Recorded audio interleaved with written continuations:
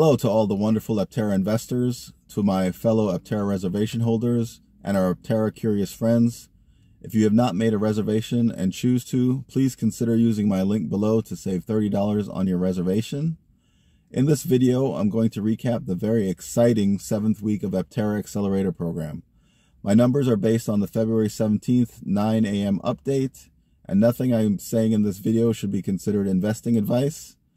For those who are not familiar with what the Aptera Accelerator Program is, Aptera is hoping to raise at least 20 million to help them reach the 50 million dollars they claim will allow them to start large-scale production.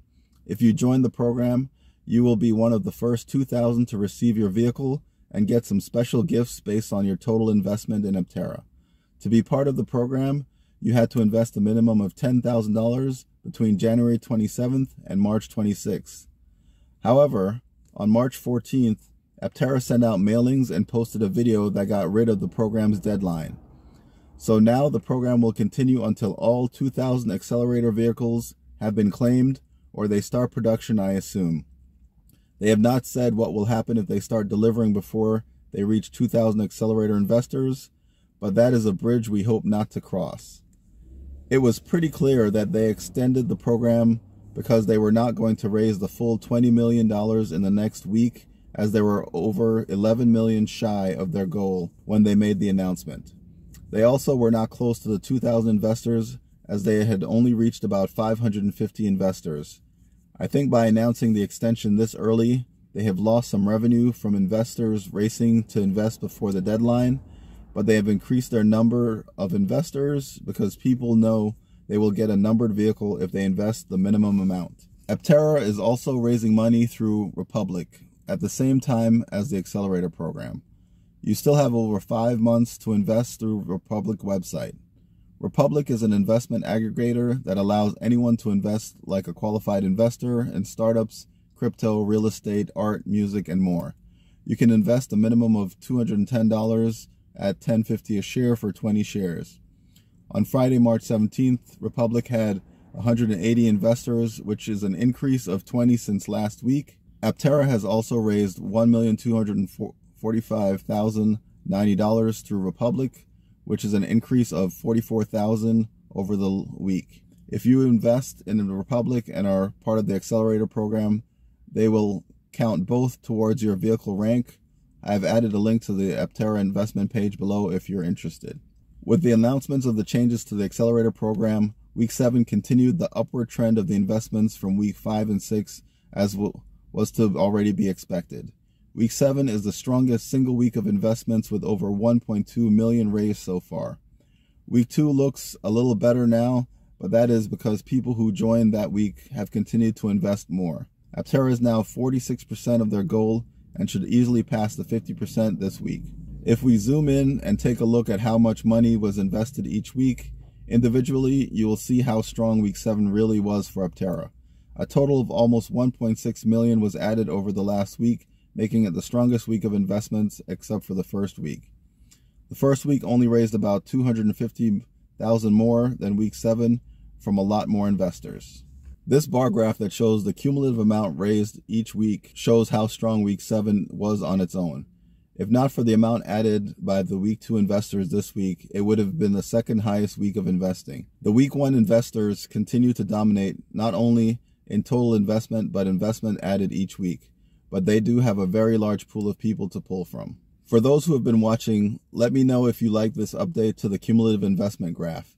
I think it illustrates the climb in investment pretty well. Things were still going strong after the first week and a half. A bump at the end of this week going into next was expected, but it is clear the announcement had an impact. There is a sharp climb on March 14th when the notice and the video went out. Looking at the amount raised each day makes it even more obvious. The 14th was one of the best days of investments outside of the first week and a half. The other two spikes came from individual big donors and not from the number of investors that contributed. This chart of the number of people investing each day makes that clear. March 14th tied the third most active day of investment with 31 people joining the program. The following days were also very strong, giving that week a high average number of people investing. If we look at the total number of investors that joined each week, it becomes very obvious how strong week 7 was. With 104 new accelerators, that is the second largest growth in investors, but it does follow the U shaped investment curve that we were expecting to continue to the end of the program. Now that the program has been extended until they reach 2,000 accelerators, I would expect a downturn in the number of people added each week until we get close to the 2000 accelerator and they confirm that they have secured all the investments needed to proceed to full scale production. Week 7 saw a continued shift to new investors. New investors went from 162 to 211, which changed the percentage from 31% to 33% of the total investors in the program. It will be interesting to see if this continues with the change to the accelerator program. New investors can be sure that a minimum investment will get them a numbered car and they can't be bumped by a prior investor coming into the pool later. New investors still contribute more on average than prior investors as expected. Their percentage of the total investments continue to increase towards 40%. At this time, they account for 3.38 million of the funds raised or 37%. How do you think this will break down at the end of the accelerator program? The average invested per person each week still continues to vary significantly. I was surprised that last week had the lowest average per person of all weeks as it raised the second most of all of any week. But there was no large investors this week but a lot of people continue to invest a small amount, and with the second largest pool of investors, it makes sense. I expect the weekly average to stay low after the change in the accelerator program. What is the incentive to invest a large amount now? I will answer that in my next video. As expected, with no new large investments made, there was not too much action in the ranking of the top 15 accelerators. The one huge move came from RD of California, Last week, they just made it into the top 15 with a small investment of about $11,000 added to their prior investment in Aptera. But they decided to go big and invested over 73,500 to jump 10 more spots to make it to the number 5 spot of top accelerator investors. But that only bumped them to vehicle number 18. The real story is WG of Oklahoma, who was the third largest single investor last week. They invested over 52,500 last week to take the number 2 accelerator investor position. But that is not the biggest news. That investment launched them 5 spots on the leaderboards to break into the top 10 at vehicle number 9. Nothing else happened above them, and we have a newcomer to the top 15 with JR from Utah in vehicle 11 with an added investment of $10,069.50 to join the accelerator program. So last week we saw an anomaly with vehicle 69. JG of Connecticut had it by investing $41,999.79, even though two people had invested more and were positioned below them. Aptera has seemed to have kind of fixed the glitch that probably rounded their investment up and they now have vehicle 77. But the numbers are out of order and they should probably have vehicle 79. Also, it seems as if they have cloned themselves as the next person in vehicle 80 is also at JG from Connecticut. Currently, vehicle 69 belongs to JC of California, but with the indefinite extension of the accelerator program, it is unlikely to stay that way.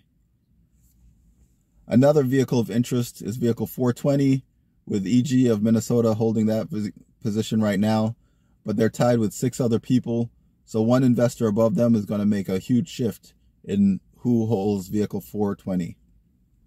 Of course, one of the most exciting vehicles, and I think probably the one to have, is vehicle 88. Right now, KQ of Montana has it, and that's definitely not going to last. It'll be very interesting to see who ends up with vehicle 88, as I think that will probably be the most collectible vehicle since that's the number that they've used in videos so far. Thanks again for watching. Please subscribe, comment, hit the notification bell, like, and share to help our channel grow. And below you'll find links to our website, evolveelectric.org, our Twitter and Instagram